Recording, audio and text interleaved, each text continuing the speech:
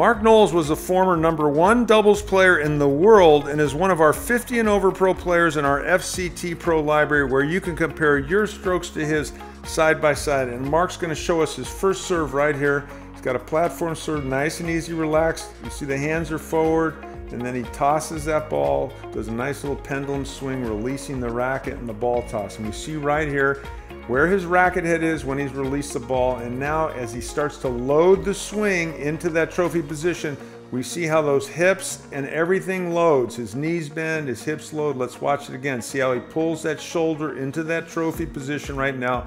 He's loaded, and now he's gonna drive up, and we're gonna watch that right elbow come up and out and through the ball, releasing the left arm. There's the elbow coming up and out right there.